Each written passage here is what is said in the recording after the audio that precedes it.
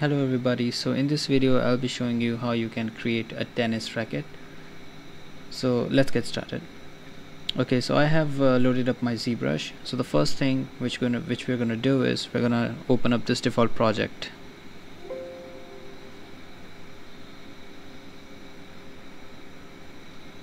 Okay, so let's turn off the perspective first. Let's check the wireframe. Okay, so you can see uh, the topology is not that nice. So the first thing which we're going to do is we're going to go under geometry under Dynamesh we're going to turn off this Dynamesh first thing. Okay. So now let's activate the gizmo. Let's go to brush palette. Let's find IMM primitive 14 brush and we are going to replace this thing with our cylinder inner right? So you can see now we have this cylinder over here. Okay now let's select the ZModeler brush which is over here. Okay so let's scale it down. Let's scale it up. And we're just going to give shape little bit like a table like a tennis racket. Scale it down like this.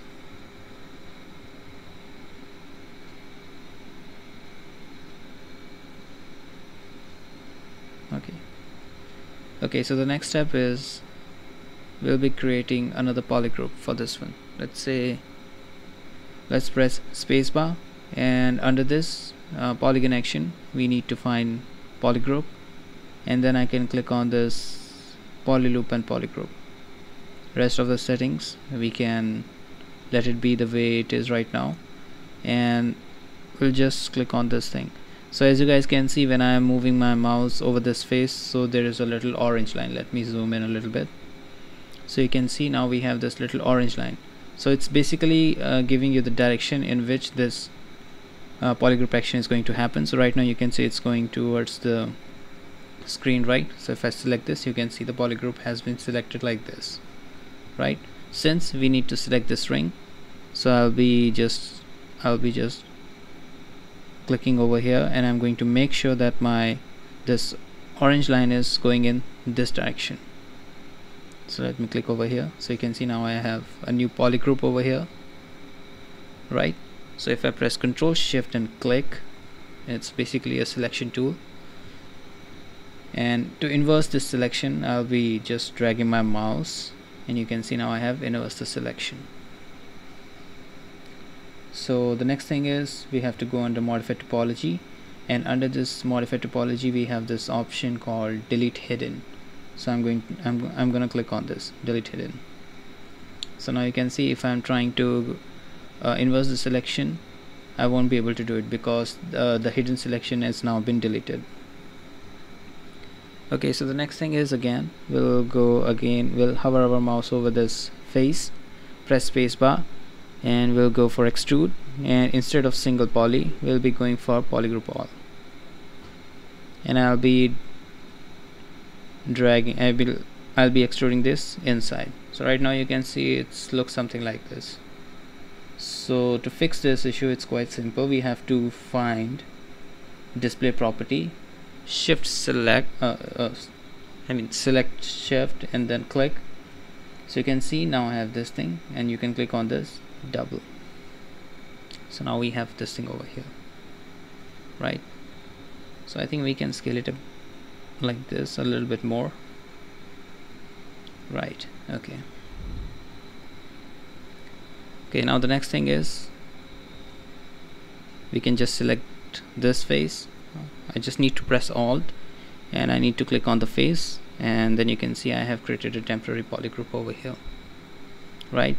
And now I just need to extrude it like this. Let's say extrude right? And now I just need to uh, select these edges. So how I can do it? So to select these edges I can just simply use uh, instead of uh, mask pen you need to press control and then you can see we have this uh, mask brush so instead of mask pen I'll be clicking on this palette and I'm going to find mask lasso so let's just mask it out. I'm pressing control and then you can just uh, click left mouse button and drag your mouse and you will be able to create the mask. So right now you can see it's black. I need to make sure that whatever comes under this selection is unmasked right? So I have to press alt for this. So you can see my mask has turned white so this means whatever comes under this masking or under this region will stay unmasked. Rest of the you can say topology will get masked. Okay so you can see over here. So if I activate my gizmo again by going under this move tool and let me just press alt and click on this uh, Google location kind of icon and you can see I can move only this part. Right so let's just fix it. Let me scale it like this. And we can do this. Let's keep it a little bit more stylized for this one. Let's keep it like this. Right. And we can scale it down like this. Okay so I think that's fine. Yep that's fine. Okay so that's how you can create the simple you can say frame for our tennis racket so the next thing is which we need to do is we need to create the base for this thing. So let's quickly create the base. Okay and I think uh, the size of this uh, frame is quite small uh, with respect to this shape. So how we can increase this right? So you can see I am hovering my mouse over again this uh, you can see this object. Let me just click on this and instead of double let's click on this flip. So the faces are now flipped. Let's turn hide this and let's get back to our subtool okay. So over here you can see I have this uh, simple shape over here but you can see uh, these uh, these two parts are quite thick with respect to this thing. So how we can increase the size of this? So I'm going to hover my mouse over this and I'm going to extrude but right now you can see I have another edge loop in between. To remove this edge and just to make sure that it's work properly I'm going to press shift. So you can see now it's working like this. Right? Okay so another problem is right now over here as you can see.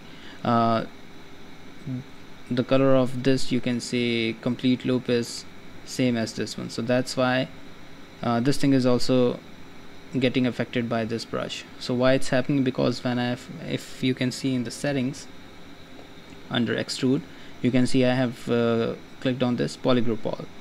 So instead of this polygroup all I can just click on let's say poly loop so now if I press shift you can see nothing is happening over here. Right? Okay. So I think now it's it's look fine so now let's just quickly create the base for this uh, uh, racket. Let me just again mask it out.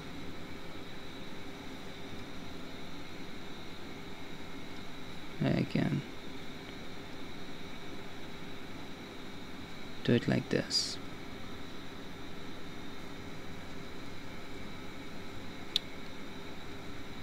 Okay alright so now let's uh, create the base of this. So to create the base uh, I'll be creating or you can say I'll be drawing a new shape over here. So again I'm going to select this IMM primitive 14 brush which is over here. And again I think we can just work with the cylinder inner. Uh, to turn on you can say the wireframe again. You can click on this poly F or you can just simply use the shortcut key which is shift F over here.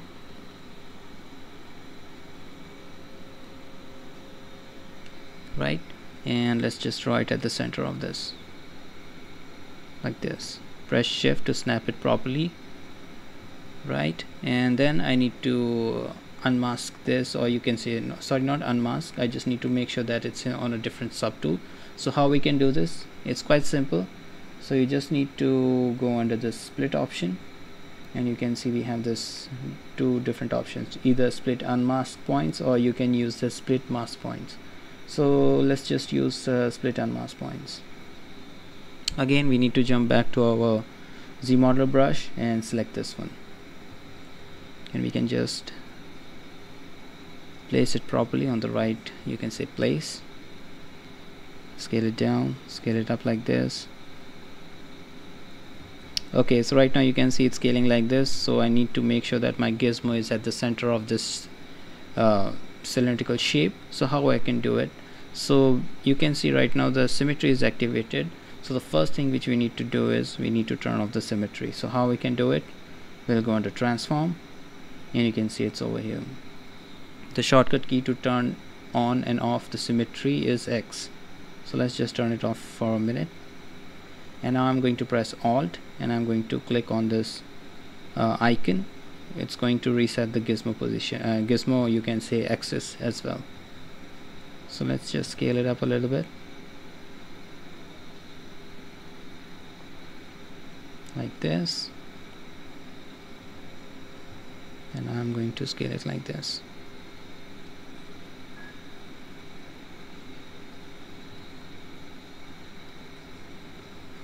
right? Okay so now I think I can get back to my this mask rectangle let's say. Press alt. So whatever comes under this white mask uh, will get unmasked. And the rest of the things whatever is not under this white region will get mask let's move it down. Let's reset the gizmo. So right now the gizmo is at this position because only this mask is only this part is unmasked. And so like this I can scale it like this.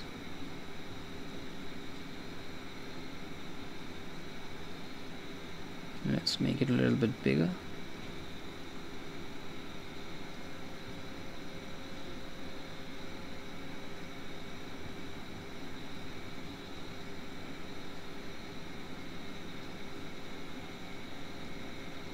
Let's scale it like this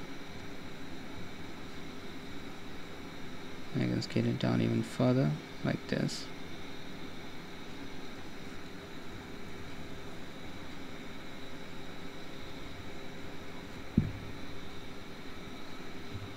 Okay so the next thing uh, which we need to do is we need to shape it properly. Let's insert another edge loop over here. Let's scale it down like this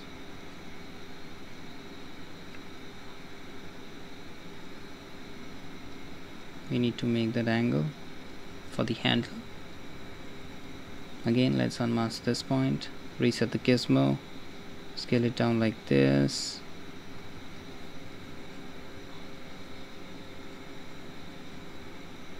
Or we can scale it like this a little bit. And then again I'll be creating another edge loop over here. Let's say something like this. Right? And what I can do over here is let me just scale them down properly like this.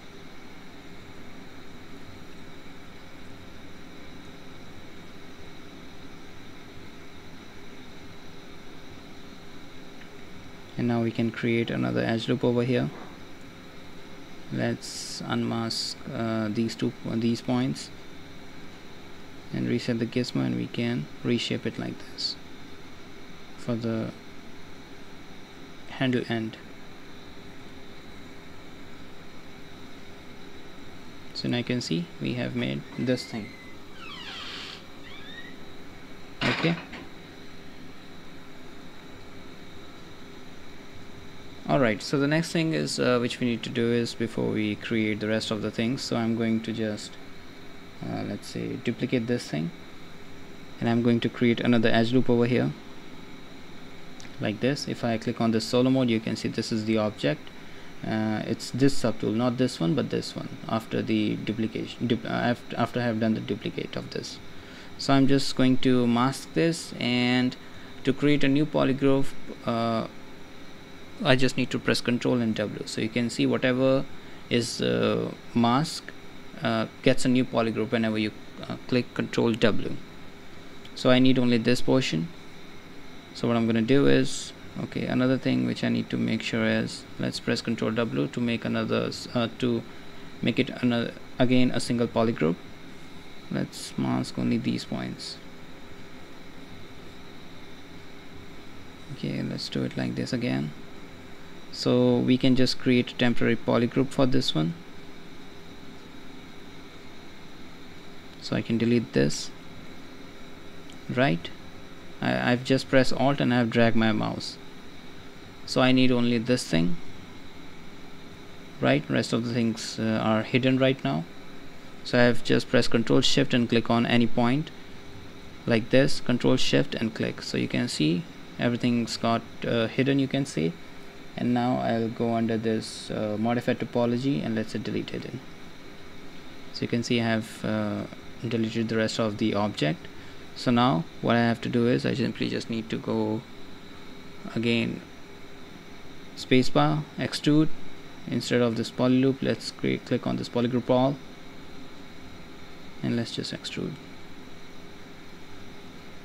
So we have this thing over here.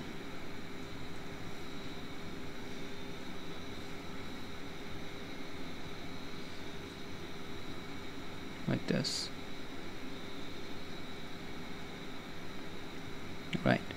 Okay uh, so now let's uh, quickly create the uh, wire of this uh, tennis racket so how we can do it. So for this uh, again we'll be just creating another plane for this. I'll go under append and let's just click on this plane 3d let's click on this plane 3d so you can see we have this thing over here. So let's make it at the center of this like this. Okay so uh, to create these wires how we can do it we, uh, we simply just need to click on this uh, dynamic and we'll be using this micro poly it's quite easy for us to use. Just click on this micro poly and we'll be using the that's a simple wire. Let's try to use this grid. Okay so you can see now I have created the simple grid over here so that's how you can simply and quickly create the grids over here right? And let's say if you are satisfied with this let's click on this fit align it properly right? And if you want to scale it down you can scale it down as well right? And let's say okay so we'll keep it like this. And once you are let's say satisfied with the uh, shape so what you can do is you can simply just click on this apply right? But let's turn off the dynamic subdiv.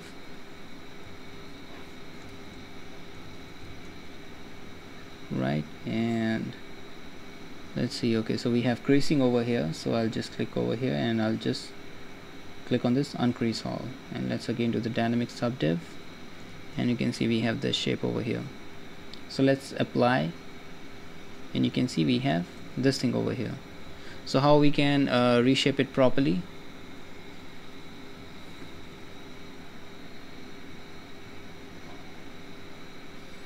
let's go to polygroup all let's say auto group right so you can see we have a little bit thick so we can scale it down. So we have this thing over here. Right. So now uh, we need to make sure that the shape is properly managed uh, according to our frame. So how I how we can do it. So it's quite easy we'll be using let's say which technique we'll use over here. Okay so we can ju just simply use instead of uh, select rect we'll be using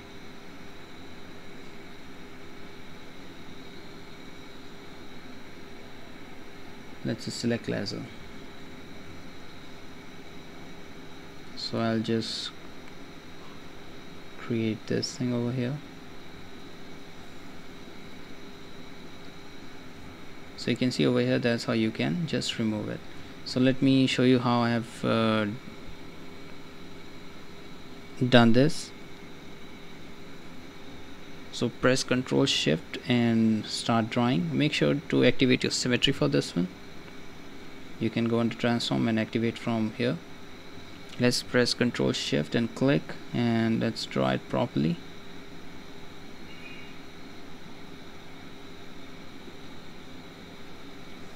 okay so you have uh, selected this part. To uh, change the color of the selection you just need to press alt. So whatever comes under this red section is going to get hidden. You can see over here it's uh, it can it's now hidden. So now we just need to go over here and we can just find the modify topology. It's a delete hidden. So now it's get deleted so we're just left with this wireframe over here. Right? Okay so let's again activate the dynamic subdiv turn off the micro uh, micro poly and let's keep it let's say 4 or we can reduce it. It's a 1 right click on this uh, select this subtool first and let's just give it a little bit more. You can say uh,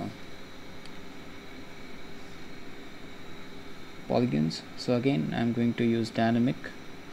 And right now you can see it's 2 so right now you can see the shape is not at the right condition. So I'll just simply click on the crease. So you can see now I have this smoother mesh over here. So I can increase it let's say four times and then I can just reduce the crease level to let's say 3 so I can have a little bit smoother edges right? So I'm going to uh, do the same stuff uh, for these two things. Let's say click over here. Dynamic. Make it 4 crease it. Set 3 same for this. Uh, select the subtool dynamic make it 4 increase it keep it 3 or you can keep it 2 if you want a little bit more smoother edges right? So let's uh, give it a quick uh, you can say color. So to give it a color we'll go under let's say we'll change the material. So you just need to click and you can just find this uh, skin shade 4 so just click over here so let's give uh, this a simple color. Let's say like uh, this. And to fill up the color on this so you need to go into color and fill object. Let's select the uh, second subtool which is this one. Let's make a racket something like this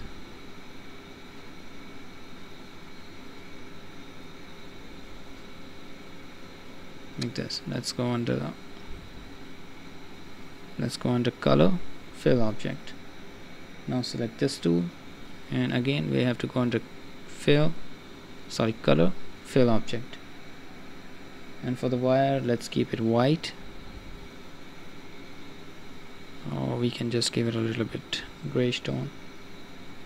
Color fill object.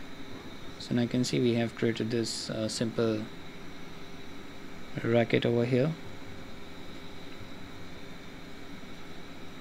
Right so let's just quickly create uh, the ball for this. So again I'll go under my IM primitive brush uh, which is this one. And let's create this sphere over here. So let's just create it. And click on split mask points so we have this ball over here. So let's get back to our ZModeler brush which is over here.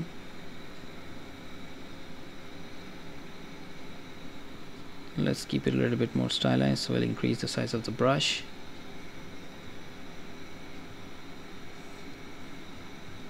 Let's hide the rest of the things so we can just focus on the ball for now. So again just uh, let's see the wireframe first. So it's something like this reset the gizmo. Now uh, to create the little pattern for this ball we'll be using a simple technique again. Press ctrl shift and instead of this uh, lasso tool we'll be using let's say uh, okay a slice circle. Let's say this one. So let's just drag this uh, and uh, to make you can say a, a point to find out from where I have created this circle so I'll be using this point. Let's say scale it down and let's leave it over here. Right? So we have this thing over here. Okay again uh, that, that that was the point. So right now I just need to make sure that my distance is similar from all the sides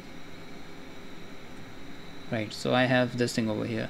So the next thing which I need to do is I need to make sure that I have the same thing for both the sides. Because I have not uh,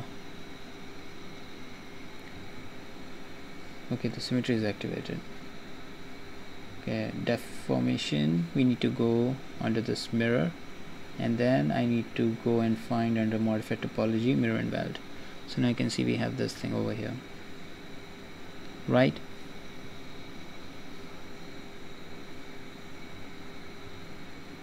Okay so the next thing is which we need to do is we need to just do a quick uh, zero mesh for this. So let's uh, look at the setting for the ZRemesher. So right now you can see uh, this is these are the default setting. So the first setting which we need to change is this one. Let's keep group I don't want to smooth my groups for now or let's say we can smooth it to let's say 0.5 you can write the value as well let's say 0.5 we don't need any crease we don't need to detect the ed edges and let's keep the target polygon count to 5000 and adaptive size I'm going to reduce it to zero so we can have even quads and uh, let's act, uh, symmetry is already activated. Make sure that your symmetry is activated before you click on this ZRemesher. So let's click on zero mesh. Let's see what kind of a result we'll get.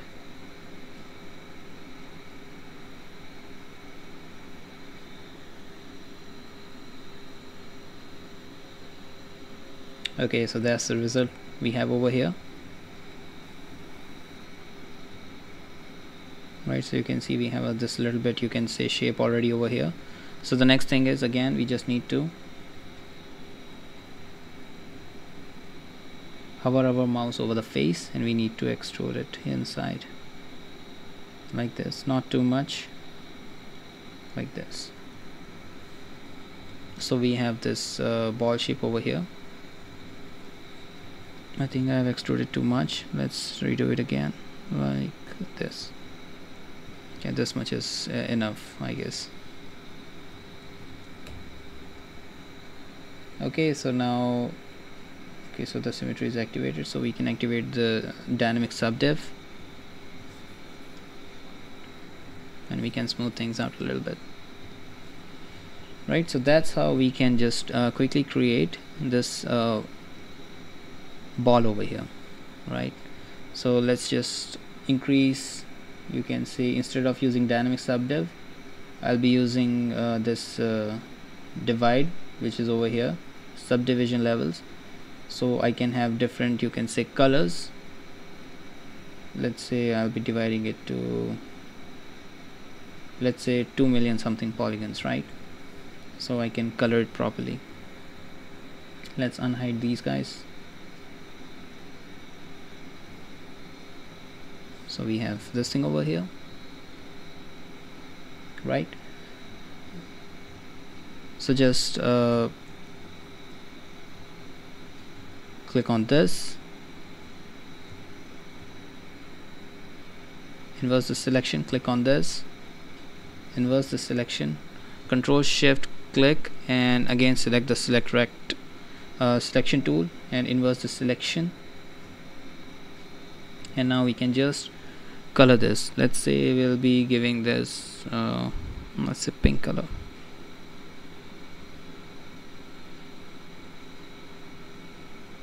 Right? And under color we just need to click on this. Fill object. Inverse the selection and give it a let's say white color. Fill object. So if if I want to see everything together just press ctrl shift and click on the empty canvas. You can see now we have the ball over here. Right so that's how we can just simply model a tennis uh, you can say racket and the ball itself. So let me turn off the symmetry. Reset this. Move the ball so we can pose it a little bit. Right over here. For the racket I think we can just simply now combine it. Or we can uh, keep it like this and we can pose it the other way. So to pose it we'll just simply uh, first let's turn off the symmetry. And I'll be clicking on this uh, small icon over here. If you want to see it I'm just talking about this one. So just click on this and press ctrl shift and drag your mouse and press alt. Make sure that uh, this ball comes under this red one and reset it. Reset your gizmo and you can pose it like this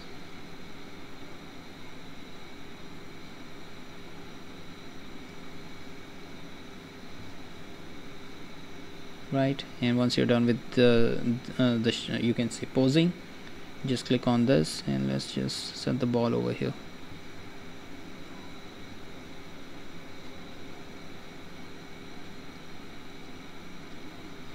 Like this. Right so that's how you can work on it. Let me just move it a little bit up let's make that like something like this. Now it's look more good. Scale it. Scale it down from here. You know that's fine.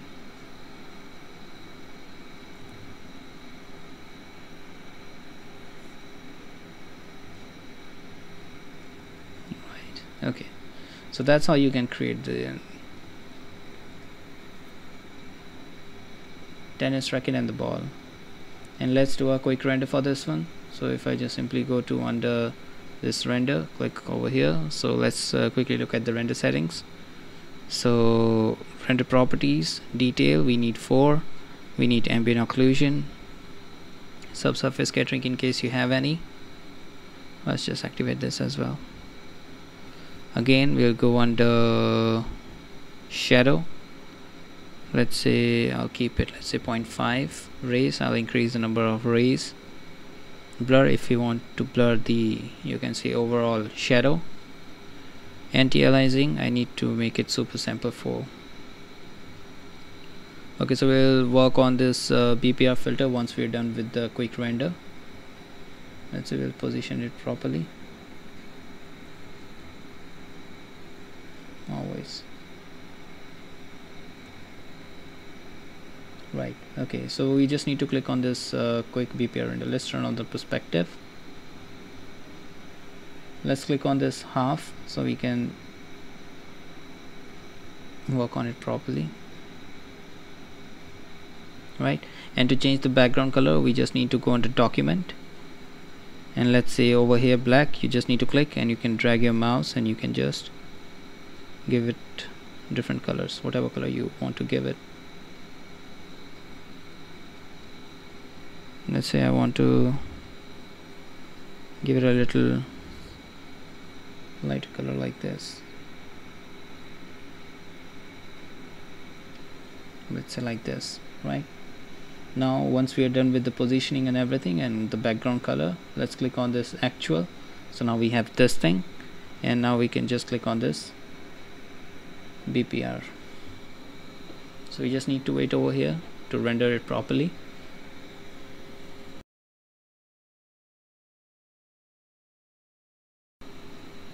okay so now you can see we have our render. So just one more thing left. So if we if you click on this F1 you can see we have uh, different options under filter. So you can make it blur. You can just click on let's say blue. We need some blue intensity over here. So I'm going to keep this blue thing over here.